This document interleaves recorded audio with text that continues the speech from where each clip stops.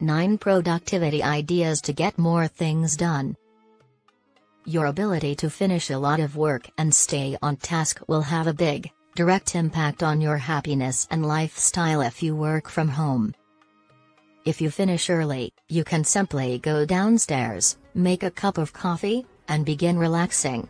There is no need to drive, no boss watching you, and no set working hours, as long as the work gets done. You could even make good use of the extra time by starting a side project, improving your skills, etc. 1. Eat the frog. The expression eating the frog comes from a line by Mark Twain if eating a frog is your job, you should do so first thing in the morning. This demonstrates that it is sensible to begin with the largest and most challenging undertaking. By doing that, you ensure that you have provided the most value each day and complete the most challenging tasks when you are at your most determined and energetic. 2. The 1 minute rule. This rule says that if a task will take less than one minute, we should always finish it right away. As a result, they are removed from our minds, freeing us from their influence and stress. 3. The 80-20 rule states that 80% of your output will result from 20% of your effort. Therefore, the key to being as efficient as possible is to locate the crucial 20% that will generate the most revenue. 4. Pomodoro, this means setting timers for when to work and when to take a break is part of the Pomodoro technique. You will be able to carefully define when and for how long this structured approach allows you to take a break, eliminating the urge to put things off. 5. Make it inspiring. By filling your office with things that make you feel good about your work, you can be more productive and creative.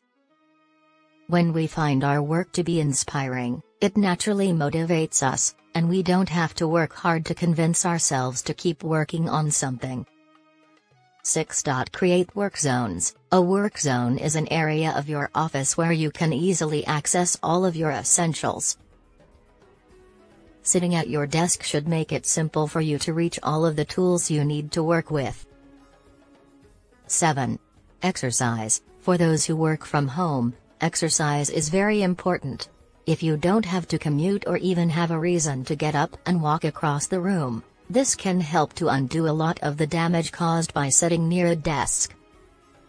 Running, cycling, or walking, or any other steady state cardio activity, can help you strengthen your heart, thereby reducing the risk of early death from desk work.